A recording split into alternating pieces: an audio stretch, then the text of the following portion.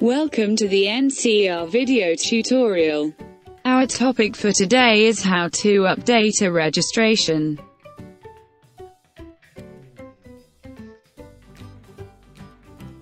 Any change to the financing statement registration that may involve the addition, deletion, edit, update or change to the maximum amount, expiry date, secured creditor, debtor, all collateral information is registered under Update.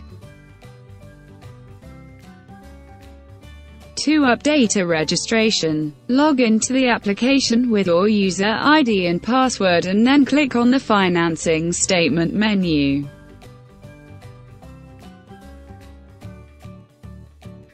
Select My Financing Statements from the drop-down list to open the My Financing Statements page.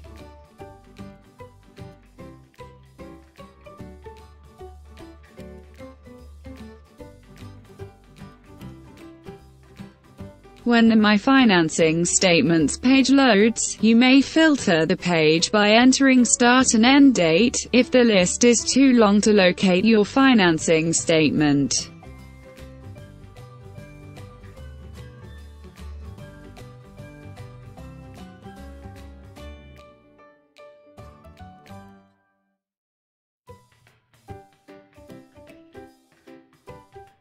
Search for financing statement by choosing the parameter from the drop-down list.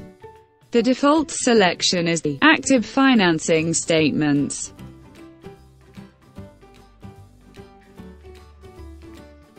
Click on Submit Search to search for active financing statements.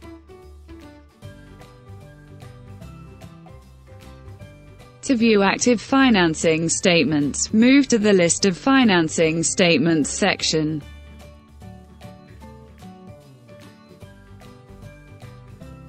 From the Actions column, click on the Amend icon of the financing statement that needs to be amended to display the amendment page as seen.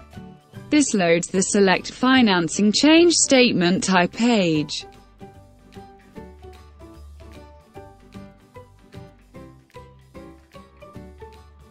Select the Update option and then click the Continue button to open the Amend Financing Statement page.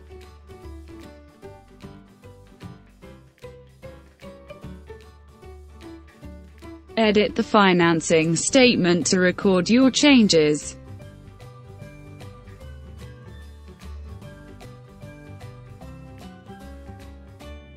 After making changes, ensure that all information on mandatory boxes has been provided.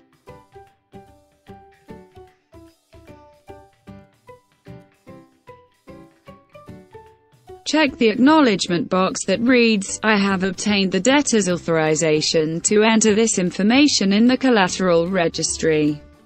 And then click the Submit Update of Financing Statement button to submit the update for authorization. A preview of the updated financing statement is displayed on screen for final review. Click the Cancel button to return to the update page.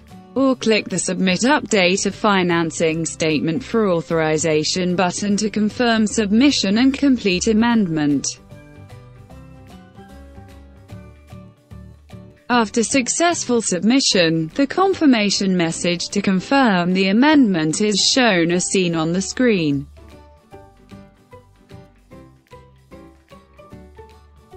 Our next topic is how to renew a registration.